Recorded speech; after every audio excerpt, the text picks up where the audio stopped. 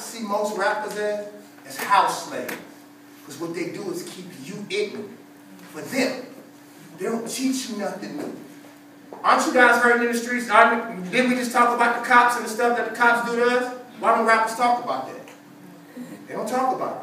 Why wouldn't we hear them talking about Trayvon Martin?